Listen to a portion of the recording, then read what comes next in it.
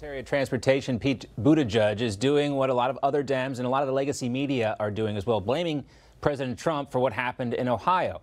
They are citing rail braking regulation that went into effect back in 2018. But I don't want people pointing to process as a way to get away from the fundamental questions of rail safety regulation and accountability and whether we're going to make it tougher or whether we're going to allow it to continue being watered down. Pete Buttigieg even was on Joy Reid's show last night talking about Donald Trump and that regulation. But here's the thing like so many stories about Donald Trump, this is fake news. But the facts never get in the way of some people's mouths, and that includes Joy Behar's. I don't know why they would ever vote for him for somebody who, who, by the way, he placed someone with deep ties to the chemical industry in charge of the EPA's Chemical Safety Office. That's who you voted for in that district. Donald Trump, who reduces all safety. He yeah. did. You could hear the crowd even kind of booed there. She continued to say it's his fault, and then he shows up. But here are the facts, and this is according to the chair of the NTSB, Jennifer Homendy. She says the train didn't nor wouldn't have the brakes that were being deregulated here, and that the braking rule would have applied only to high hazard flammable trains. And this train didn't fall in that category because it only had three of the specific cars. That's not enough to get this type of classification. Now, the regulation on the brakes that everyone's talking about, that was actually rolled back due to the FAST Act, which was passed in 2015. And you know who was president then? President Obama. Joining us now to talk more about this is Kimberly Guilfoyle, National Finance Chairwoman of MAGA again. Great to see you, Kim. Great to see you. All right, so for a case in point on this and how dishonest the coverage has been, we need to look no further than PolitiFact. Here's the claim, which came from a leftist Twitter account called Occupy Democrats. Obama imposed stricter rules on trains carrying toxins. Trump killed them. Now, PolitiFact rated this as mostly true. But then a couple paragraphs down, they admit the truth in fine print. Even if the safety rule had still been in effect, it would not have applied to the Norfolk Southern train that derailed in East Palestine, East Palestine, Ohio, because it was not categorized as such. I know there's a lot of details here, Kim, but I feel like we have to point this out because the left, Pete Buttigieg, and so many people continue to repeat these lies. Well, they do. They're very dishonest, and the media is very dishonest. They're essentially like the PR marketing team working overtime for Biden, his administration, the EPA, Buttigieg. And this is just all to distract from a pivotal moment where we saw true leadership because real leaders show up when it matters most. And you saw President Trump there, boots on the ground, with relief, with help to make sure that the people in East Palestine were actually heard, listened to, and actually brought supplies for them. But yet, then the media wants to shift away from something that was very positive uh, with President Trump going there and say, oh no, this whole thing is actually President Trump's fault, which is a complete lie.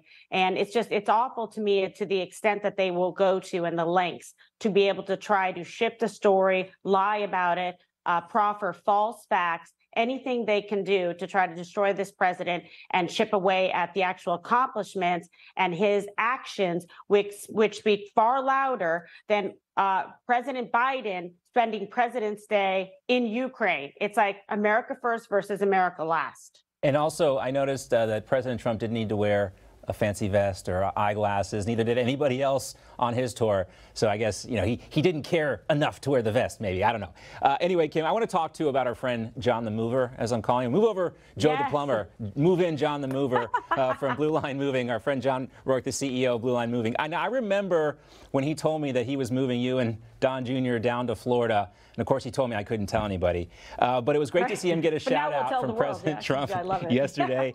uh, he also delivered 13 pallets of drinking water. But he posted this picture on social media. I wanted to put it up here because I thought this kind of encapsulates what was going on in East Palestine. And it says, PLM, East Palestine Lives Matter. And, you know, these people just want some acknowledgement that they do matter. And they got that from President Trump, and that seems so foreign to Joe Biden.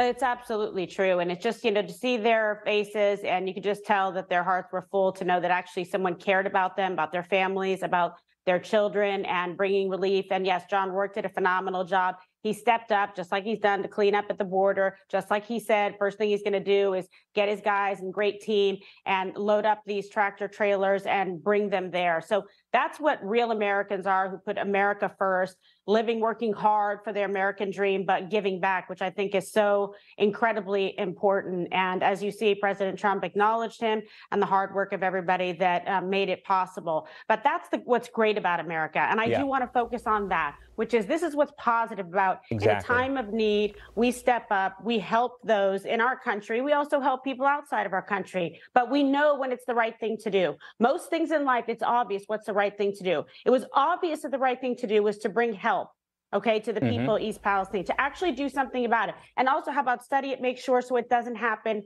again. Yet you had Pete Buttigieg cowering in the corner, and until he was shamed and embarrassed by President Trump, he then decides to show up because yeah. he's not even doing the job that at he's seven in the morning. Do you know, he shows up. American people. He tries to show up before everybody's out of bed in the morning and sneak out of town.